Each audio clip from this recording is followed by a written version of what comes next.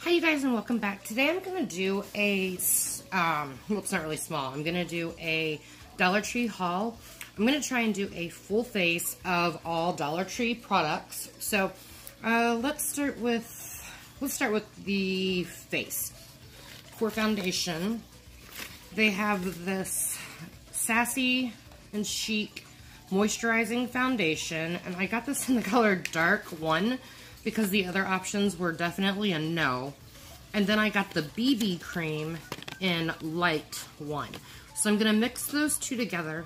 And if they are still too dark, then I just bought some um, of the cocoa butter that I can mix in with it, which will lighten it up and um, make it not quite as thick. So I'm to give these a try for my foundation.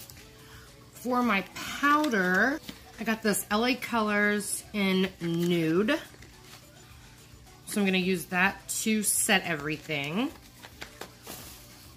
For my contour and um, like the highlight like underneath my eyes and down the center of my nose, I got this LA Colors and I got this in medium. So I'm going to use this for the contour and then this for under my eyes and down the center of my face. For my bronzer, I got another pressed powder by LA Colors and this one is in the color Tan. And I think this will actually work pretty well. You can't test them, obviously, in store, but it has more of a bronze undertone, not a red undertone, which is going to be good, hopefully. So that's what I'm going to use for my bronzer. And then for the blush, there wasn't a lot to choose from. In fact, I think there were two. But I did pick up this Beauty Benefits Hollywood blush in the color Jam. So I'm to use that. And if it is too dark, which I have a feeling that it might be, um, I'll probably mix a little bit of baby powder in with that to lighten that up as well. And when I saw this packaging, it reminded me so much of Benefit Cosmetics. Okay, we're gonna move right on to the eyes. So I didn't find a primer, but I'm just gonna use the foundation as my primer that I picked up. And I got this 12 color eyeshadow from LA Colors. These are, I believe, all matte, I'm hoping. Um, and this is and the, the palette is called Traditional. Well, let me try and make that. There we go. Ugh, my ring light is showing so bad. There we go. So I'm going to use this for my transition colors and maybe to deepen the look up a little bit. Um, I did get four different of these creamy, shimmery eyeshadow pencils by LA Colors. Two of them are the Mermaid Shimmer. One is in Surfside and one is in Splash. So this one has teal and purple and then this one has like purple and a bluish color. So I, I don't know if I will use these for sure or not because I did pick up two more of the Mermaid Shimmers, but these are in Seashell and Sandcastle.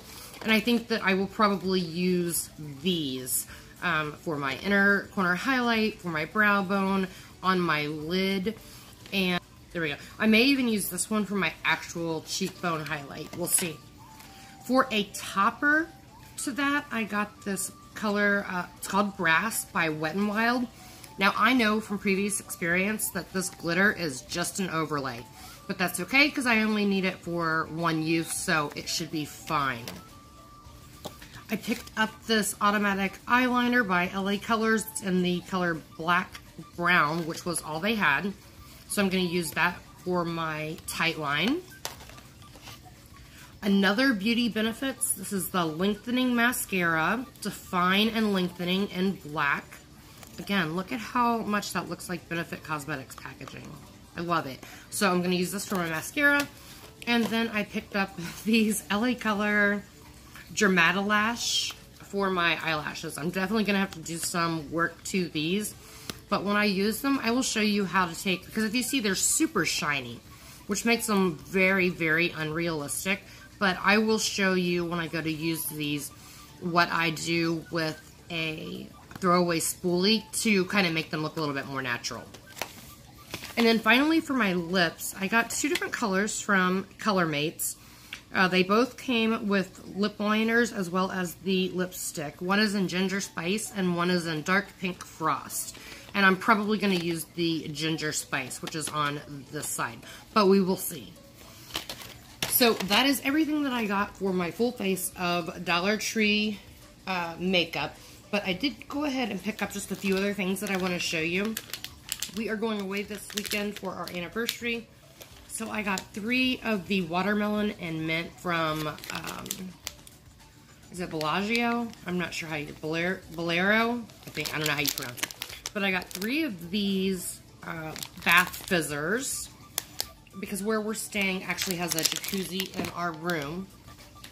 I also got one in peony, I think that's how you say it, peony, and pear.